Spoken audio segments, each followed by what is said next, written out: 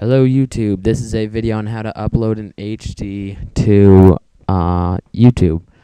It is uh, actually one of the only ways I know, and it works really, really well. So uh, here, let's let's get started. Use uh, Adobe Premiere Elements. Uh, I'm using 4.0. You can use 5.0. I don't really care. It should be around the same process. You open it.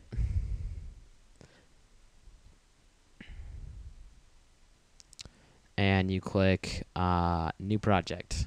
And I'm just gonna leave it as untitled because I already have it. Um, actually sorry I'm gonna name it untitled one so I don't overwrite whatever untitled was and leave all the default settings. And it's gonna open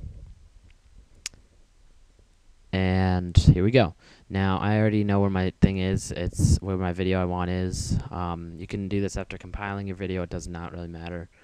Um, there it is. Now we drag it over into video one. There we can see it. It's a video of Kanye West at the Grammys in 2008 in HD. Um, now I go to, this is one thing you're really going to want to do. Right click on the video, uh, the little purple part, and click show properties and go to image control, turn up the contrast, and turn down the brightness. Do do it so make sure that there's no part in your video that's too light or too dark, but make it so that it's uh, like that because YouTube likes to throw it the other way around and make brightness high and contrast low. So just make sure you do it that way. Um, so I'm just gonna check all my video spots just to make sure there's no spots that look bad. These all look good. And the last thing you're going to want to do is click Effects, um, Sharpen. And because uh, everybody loves sharp videos, I don't know why. And then, um, there you go. There's my video.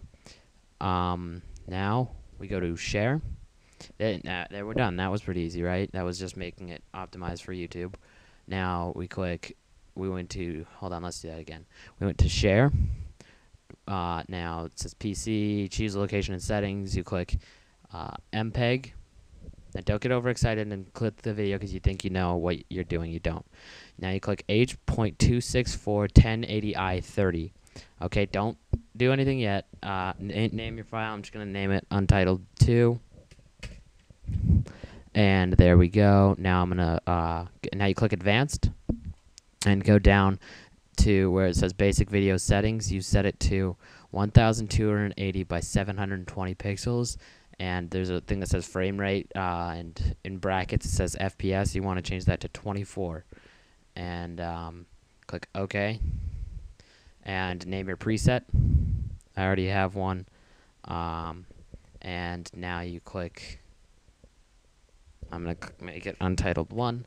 And now you click Save and it will make your video and then you upload it to YouTube and then uh, it may cause a little, it may take a little bit of time uh, maybe five minutes for the little uh, watch an HD link but then you'll after that you'll have a full HD video uh, able to be watched on YouTube and not another HD client.